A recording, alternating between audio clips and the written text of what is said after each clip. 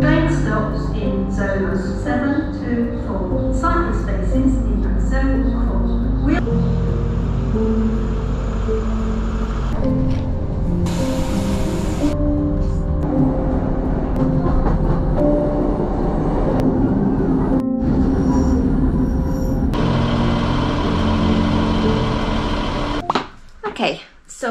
here I am at my first Airbnb in Cornwall. So I started my trip in St. Ives, which is a place I've always wanted to come. The first time I ever heard about Cornwall, I started doing some research and the first place I saw that I was absolutely dying to visit was St. Ives, as well as St. Mike, St. Mount Michael, St. Michael's Mount, St. Michael's Mount.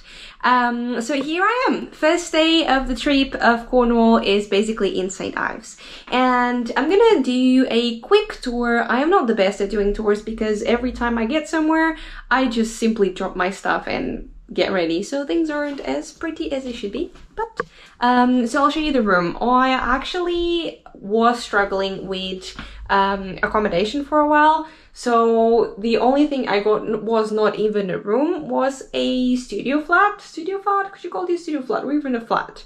And it's really, really pretty. Um, I love the colors. It's very blue. So yeah, I've got my stuff there and my bicycle here, so just ignore that.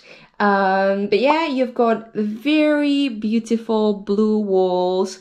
Um, there's a bed here. That will be the living room. Here is a toilet. So even the toilet has also the very nice blue colors. I really like the shower. It's kind of different. And then, hello, uh, we have the toilet. smells actually really nice in the toilet. I don't know what, it's probably that over there really nice scent. Okay, so then I'm gonna show you the living room. I actually had a friend who decided to join me on this trip at very, very, very last minute. Uh, his name is Mickey. Uh, he was in one of my vlogs, one of the Christmas vlogs from last year. So I don't know if you remember him. Um, if you're new to the channel, then definitely not. But he will come along uh, on this trip for the first six days. And after that, I'll do everything on my own. He's renting a car, which is amazing because instead of me cycling every single day as I initially planned, now I don't have to cycle every single day and I will keep the cycling mostly towards the end when he won't be with me. Um, right, so I was showing you there is like a tiny kitchen area, if you must. Uh, there's actually a tiny fridge. I think there is another name for that. Mini bar? I don't remember. They did a separate bed for him. If you request, they can do that for you. I think you pay extra 10 pounds or something. Um, there's some storage space, but that's mostly for the Airbnb. So yeah, I wouldn't put anything there. And then there's a sofa. And again, I really love the decoration of this place. It's super cute. Uh, we're only gonna stay here for one night. Even the outside is nice got distracted with the outside because it's nice.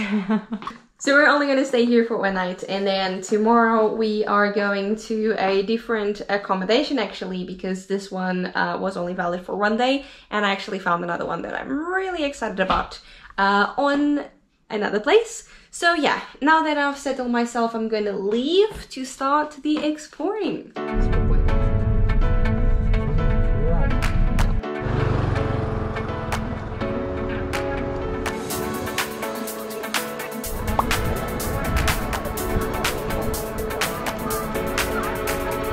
After going for a bit of a walk, we stopped to try the famous Cornish pasties, which surprisingly, I didn't like it that much.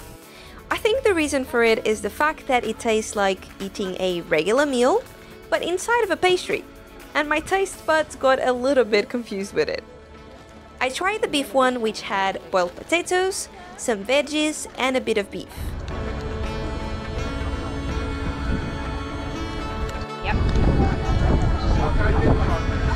As we walked along the harbour that unfortunately was in low tide, we spotted St. Nicholas Chapel, and we decided to walk all the way up for some pretty spectacular views over the beautiful seaside town.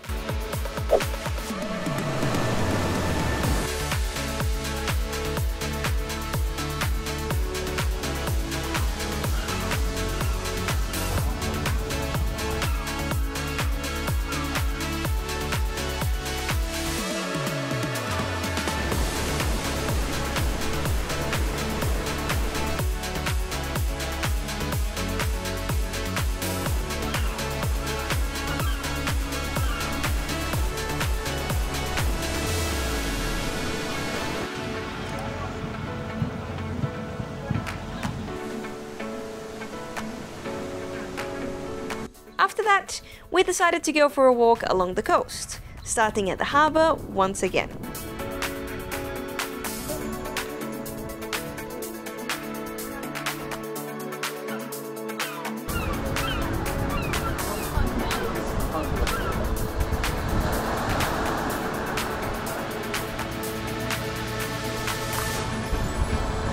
Then passed by Porthminster Beach and walked towards Carbis Bay, which took way longer than I expected, and since I didn't get much sleep the previous night, we ended up just admiring the views on the way there and not actually reaching the beach.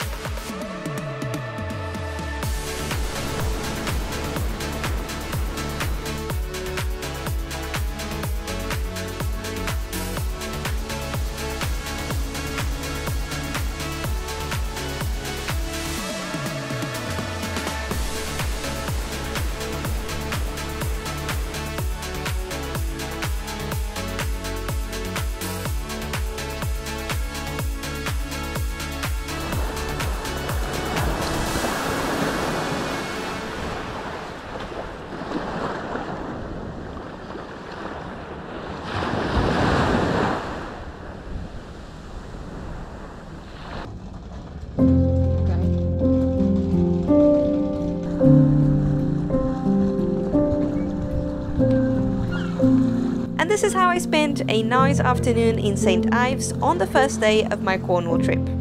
I hope you guys enjoyed this video and as always I really appreciate you for following along on all of my trips and if you do want to support the channel then feel free to subscribe if you haven't already, turn on the notifications, leave a like and let me know what you liked the most on today's video. I'll see you guys next week with a vlog full of beautiful captures from a very nice coastal walk. Bye bye!